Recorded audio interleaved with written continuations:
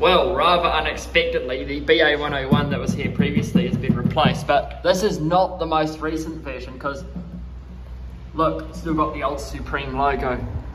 If we look underneath, you can see that it's a 2022 unit. I'm surprised that they didn't replace the previous BA101 that was here with one of with one with one of the ones with the new Supreme logo instead. But anyway, let's give it a go.